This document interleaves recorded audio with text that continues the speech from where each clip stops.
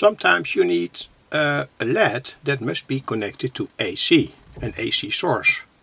For instance in a car or a motorcycle where you have often an AC dynamo and the voltage out from such a dynamo is not very constant.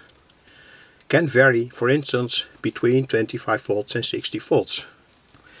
And when you want to connect a LED to it uh, that can give problems. And in that case you surely need a constant current source. That's what the LED needs to give a good amount of light under all circumstances. White LEDs have a certain barrier voltage. That means that the voltage must raise to say 12, 2 volts or so till the LED starts to light up. Other colors have other barrier voltage voltages but this is more or less um, a universe, universal circuit. Here you can see how I made it in real and now I want to demonstrate it. Put on the power supply that gives now uh, 65 AC volts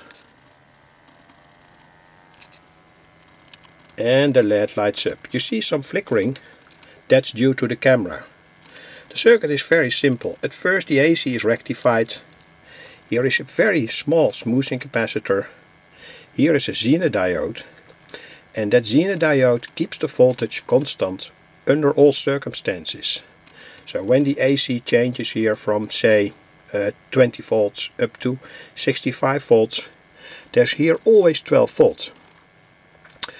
Over that 12 volt source we connect the LED via a small resistor from 1K. Here AC in, small DC voltage here. Here the zener keeps the voltage uh, constant. That also means that the current is kept constant through the zener, uh, sorry, through the white LED under all circumstances.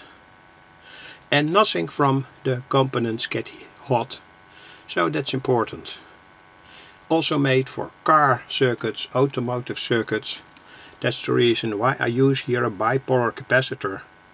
Electrolytics uh, don't work so well under harsh circumstances when it's very cold or so. So um, that's more or less all to tell about this circuit. You can develop it further. Um, for instance, search for a higher current or more LEDs and perhaps I want to do that want to make a next video in which a bunch of LEDs is driven. So very useful on AC dynamos. Switch off the light now and such a white LED can generate a lot of light. Clear to see here and in the dark it's far enough to be seen by uh, other people on the road.